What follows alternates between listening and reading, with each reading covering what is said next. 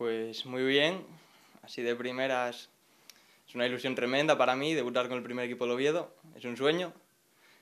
Y nada, ahora intentar jugar y trabajar lo máximo. Me lo dicen en el último entrenamiento de la semana, me dicen, Nacho, la convocatoria sale ahí, que tengo que firmar y, y nada, para Tarragona.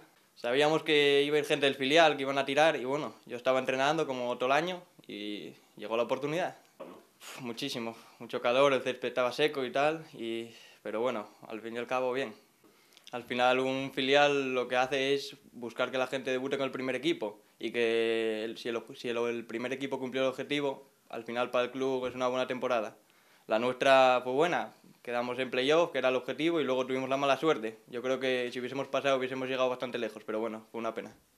Yo creo que sí, porque al fin y al cabo debe ser dos años que más gente debutó del filial. O sea que se contó bastante con ella y en partidos importantes. Muchísimo. Ya para mí encima el mejor momento del club de los últimos años. Yo desde que estoy aquí el club estuvo en tercera, segunda B. Ahora en el momento de ascenso y tal es lo mejor. Nada, las que más las de excompañeros que estaban conmigo en alevines, infantiles, cadetes.